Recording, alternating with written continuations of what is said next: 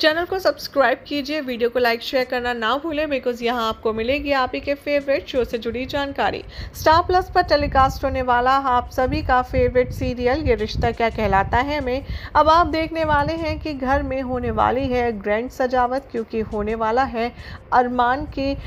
गैर मौजूदगी में अभीरा और माधव का वेलकम जी हाँ शो के अपकमिंग ट्रैक में दिखाया जाएगा। ऐसा ही क्विस्ट ट्विस्ट और टर्न आने को है, जिसकी तस्वीरें सोशल मीडिया पर वायरल हो रही हैं। सोर्सेस की माने तो शो के अपकमिंग ट्रैक में माधव और अभीरा, जो दोनों ही अरमान की ज़िंदगी का एक अहम हिस्सा है और वो दोनों ही अरमान से फ़िलहाल खफा चल रही हैं।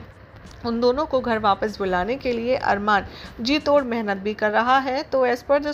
की माने तो अरमान, अभीरा और माधव को घर वापस बुलाने के लिए कर रहा है, चारू क्रिश और बाकी सभी बच्चों के साथ शानदार तैयारी और इन दोनों के ग्रैंड वेलकम का बना रहा है प्लान जिससे नाखुश है कावेरी और वो इस वेलकम में बिल्कुल भी पार्टिसिपेट नहीं करने वाली है। इससे पहले कि अगर हम अभीरा के वेलकम की बात करें तो आपको याद होगा कि कैसे ढोल नगाड़ों के साथ अभीरा खुद आई थी अपना वेलकम करवाने और इससे पहले यहाँ पर आई थी अभीरा दुल्हन बनकर अरमान की इस घर में बाइज्जत के साथ। लेकिन जो सारी सिचुएशन बीच में हुई है, अरमान और अभीरा की ज़िंदगी में उसके बाद अभीरा का पोदार हाउस लौटना एक टास्क से कम नहीं था। सोर्सेस की माने तो अब बहुत जल्द होने वाली है। घर में ग्रैंड एंट्री माधव और अभीरा की जिससे कावेरी और संजय डेफिनेटली काफ़ी ज़्यादा नाखुश नज़र आने वाले हैं, लेकिन देखना होगा काफ़ी इंटरेस्टिंग कि कैसे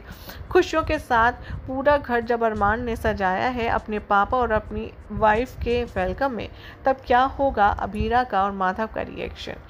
कमेंट कीजिए, साथ ही वीडियो को लाइक शेयर करके चैनल को सब्सक्राइब करना बिल्कुल भी ना भूलें।